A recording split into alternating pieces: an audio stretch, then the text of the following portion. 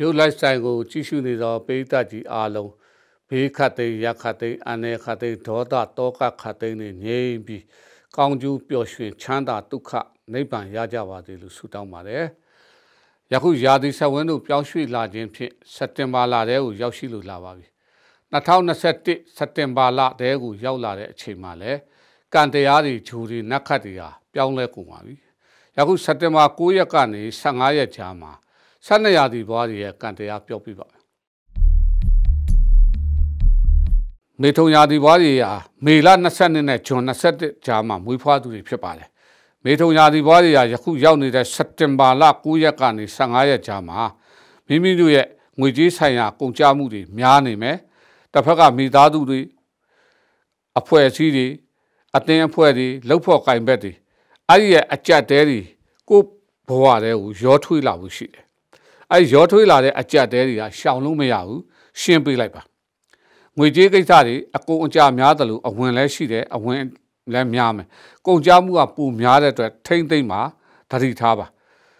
တစ်ဖက်မှာဘာပြဿနာလာရှိနေလဲဆိုတော့ပေးရရရပြဿနာတွေအဲ့ဒါတွေကလူဟောင်းနေရာဟောင်းစာချုပ်ဟောင်းပြဿနာဟောင်းဟိုးတုန်းကမိဟောင်းဆွေဟောင်းအကျွေးဟောင်းတွေဒီချိန်မှာရောက်လာမှာအဲ့ဒီပြဿနာတွေအားလုံးကို စုပြုံပြီးတော့စိတ်နေရတဲ့ကာလတစ်ခုတည်းကိုရောက်နေတယ်အဲ့ဒီအကြက်တဲ့ငွေကြီးအရှုပ်ရှင်းတွေရှင်းနိုင်တာတလန်းနဲ့ရှိတယ်ခွေးတွေအများကြီးမွေးထားတဲ့ခွေးပရာဟိတအဲ့လိုနေရာကိုလှမ်းပြီးတော့လှူနိုင်တဲ့ငွေလေးလှမ်းလှူလိုက်တထောင်လူလူတထောင်လူလူအဲ့ဒါအဲ့ငွေကြီးအရှုပ်ထွေးပြည်သွားလိမ့်မယ်ရွေ့သွားလိမ့်မယ်အဲ့ဒါမှလောက်ရကာယခက်ပါတယ်ဆိုရင်နေ့တိုင်းနေ့တိုင်းကြာစံခောက်ဆွဲကြော်ကြော်ချက်ချက်လှုပ်ပြီးတော့ တန်ဃာတော်အရှင်သူမြတ်တွေတီလာရှင်တွေဘေးအိမ်ရှေ့အိမ်နောက်အိမ်တွေကိုလောက်လူပေးပါအဲ့ဒါဆိုငွေကြီးအကျက်တဲ့လွတ်တော်မယ်ကျမ်းမာရေးကိစ္စနှာစီးတာခေါင်းကိုက်တာခါအဆစ်ယူတွေထိကိုက်တာလာကြုံရတဲ့အချိန်အဲ့ဒီကျမ်းမာရေးကောင်းဖို့မိမိရဲ့အိယာထဲမှာတာမယာလေးခုနှစ်လုံးတညထားပြီးတိတ်နောက်နေ့မနေ့ကျယူယူပြီးရင်ဟိုအမိုက်ဘုံတဲ့ကိုငါရဲ့ယောဂပူးမွားတွေနင်ခံလို့ပြောပြီးတော့လှုပ်ပလိုက် နောက်မိသားစုမှာစကားများရံများပြဿနာများတဲ့အချိန်ဒီကာလမှာရှိတယ်အဲဒီစကားများရံများပြဿနာများတဲ့ကိစ္စကိုရှင်းထုတ်တဲ့နေရတပြက်စီတစ်ချောင်းဝယ်နေသရဖုံကြီးကျောင်းတီလာရှင်ကျောင်းဓမ္မယုံတွားလှူလိုက်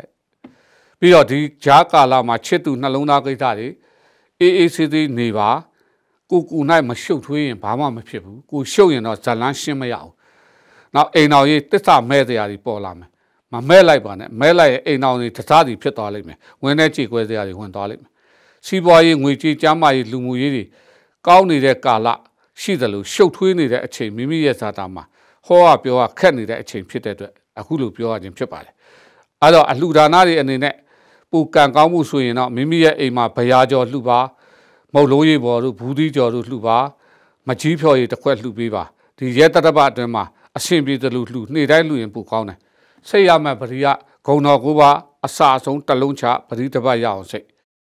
ထီထိုးဖို့ကိစ္စကတော့ဒီကာလမှာရှောင်ထားပါအောင်အရှင်မပြေသေးပါဘူးအာလုံတော်ဖြူပိသတ်သည်ဘေးခတ်သိရခတ်သိအန္တရာယ်ခတ်သိဒုက္ခတောကဗျာပါဒခတ်သိချက်ချင်းငြိမ်ပြီးကောင်းကျိုးလူရဆန္ဒပြည့်၍ပျော်ရွှင်ချမ်းမြေ့တာယာသောဘဝပိုင်ရှင်များဖြစ်ကြပါစေလို့ဆုတောင်းလိုက်ပါတယ်